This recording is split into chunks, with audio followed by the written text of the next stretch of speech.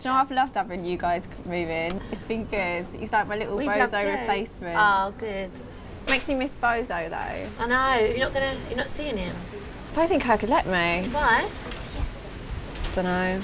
I do not know. That's out of order. I know. Mick sends me messages like pictures and stuff, so I get to see what he looks like. But it just makes me I sad. don't know if that's worse. I know. Because every time I see it, I'm like, oh. I don't know if I'd, I'd want to see or not, but um, yeah, like Mark always wants to see him, and I'm just like, I don't know, I wouldn't mind, but I just feel like it's hard. Like when you break up with someone and you've got like kids, Time. dog, Yeah. yeah, It's like custody battles.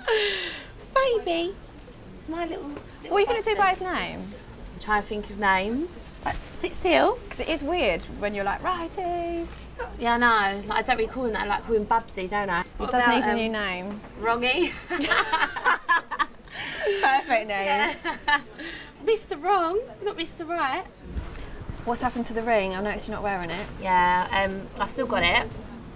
It's just at home in a little jewellery box. So I don't really know. What do you do with that? Like, what do you do with right engagement rings? Sell them? Do you? I don't know. Will I get much for it? I don't know. It depends how much it was.